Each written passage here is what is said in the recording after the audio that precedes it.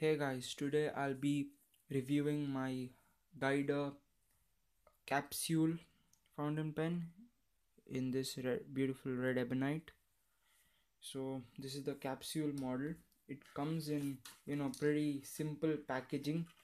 This brand is an old brand which is based in Andhra Pradesh in India. So yeah, comes in uh, normal you know letter what do you call it letter envelope with the Guider pens you know information right here if you want to contact them. How i got this pen was through you know contacting the owner mr rao i, I think through whatsapp and we exchanged a lot of messages and i finalized the pen and he shipped it to me.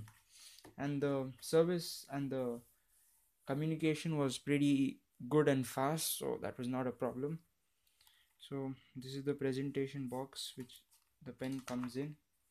Not the greatest packaging you know pen comes like this. So yeah. Not the greatest but for what you pay i don't mind.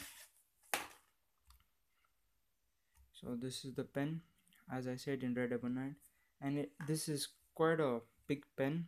Let me just compare it to the lamy safari. As you can see it's quite long and the girth as well so this is a clipless version as you can see. The one disadvantage is that if you keep it on a desk it might roll. But I haven't had this fall. Twist the cap open.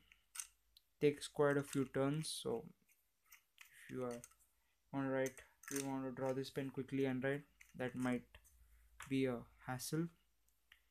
Comes with this Guider nib yeah Guider fine India gold colored nib and an ebonite feed.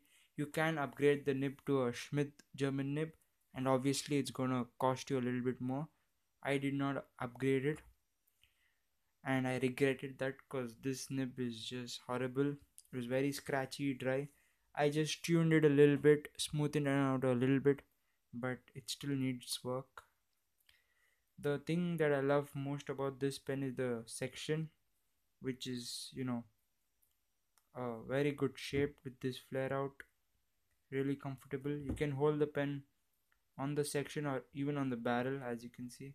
It's still quite long and you can you know really express yourself by holding it on the barrel. It, this is an eyedropper fill pen so holds a good amount of ink.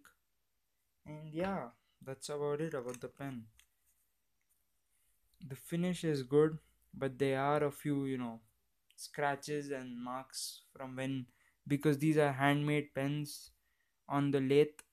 You find some you know spots on the pen and the ebonite too is a little bit pitted but you know that's all fine. It gives character to the pen i feel. So yeah that's about it. Let me just show you. Conical it's not it doesn't feel like a pen feels like a you know stick you're holding. And I like that it's something different in the collection. So yeah. Now let me just quickly give you a writing sample.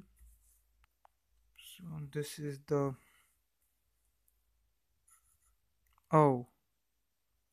I was shaking the pen a lot so as you can see the ink just you know bobbled out but it normally doesn't. I don't know what's the problem. Let me just check.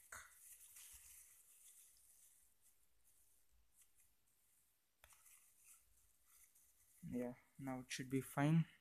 So let's just start. As you can see straight away it's fine. That's the actually this thing right here was the first time I experienced and so yeah never experienced that before with this pen at least. Let me just you know drop this a little bit.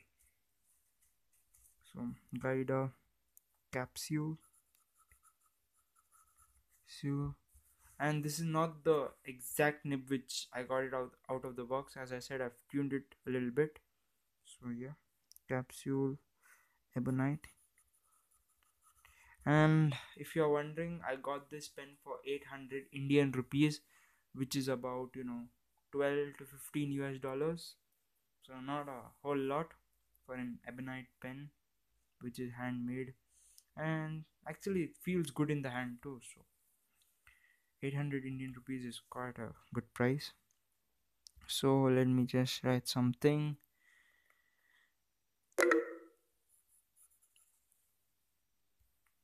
The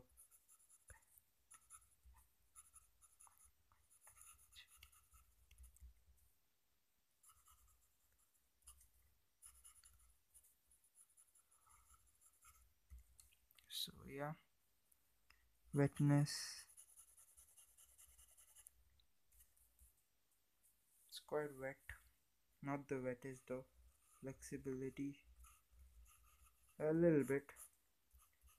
But the nib gives a lot of feedback when you get it. So you might want to upgrade to a Schmidt nib. So yeah that's about it. Thank you for watching. Bye